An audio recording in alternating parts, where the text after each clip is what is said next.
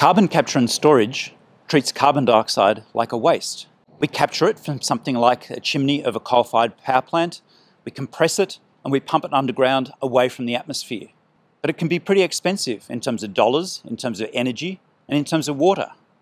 It can also be pretty leaky, and there's also incomplete capture of the carbon dioxide. Carbon capture and use is different. We still capture that carbon dioxide either direct from the atmosphere or from an industrial process, but then we turn it into something valuable, like a substitute fuel so we don't have to burn fossil fuels, a building product that stays around for a long time, or a valuable industrial feedstock that we can make things like polymers out of. So carbon capture and use treats carbon dioxide like a resource, not a waste.